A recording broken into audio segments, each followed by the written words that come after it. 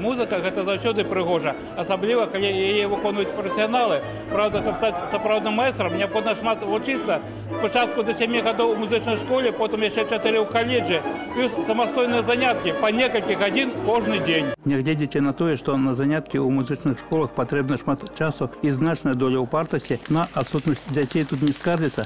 Сёння гэтай установы наведвае практычна кожны восьмы навучэнец сярэдніх школ. Плюсаў некалькі гэта і агульнаэстэтычнае развіццё і прафесійная арыентацыя, уключаючая удзел у конкурсах и фестивалях. Ребенок, получивший определенные знания, умения, навыки, он обязательно должен а, получить возможность самореализации. Поэтому дети нашей школы очень активное участие принимают в конкурсной и фестивальной деятельности. И скажу, что вот даже за прошлый учебный год а, посетили 31 международный конкурс, и у нас 89 результативных а, попаданий на конкурсах лаўрэатства. Нягледзячы на рост агульнай колькасці навучэнцаў дзіцячых устаноў культуры, перавагі моладзі ў апошні час пачалі змяняцца. Меншай папулярнасцю сталі карыстацца баяна, кардыёны балалайка, а таксама харавыя спевы.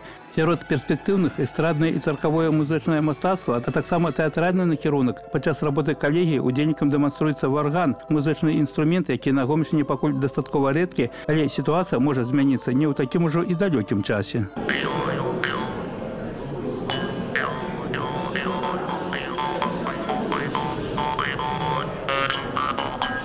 На пленарном пасяджэнні размова па дасягнутых паказчыках і існуючых праблемах, асноўная ўвага якасці адукацыі і аптымізацыі дзейнасці устаноў са стабільна нізкімі вынікамі работы. Навучэнцы дзіцячых устаноў культуры разглядаюцца як будучая творчая эліта краіны, а таму і рыхтаваць яе неабходна на адпаведным узроўні і, канешне, падтрымліваць маладых спецыялістаў. Основные проблемы – это, конечно, э, предоставление жилья. Мы работаем над этой темой очень плотно, стараемся помочь и найти возможность, как закрепить молодого специалиста, создав им бытовые условия, достойные э, работника культуры. Олег Сентеров, Валерий Капанько, телерадиокомпания «Гомель».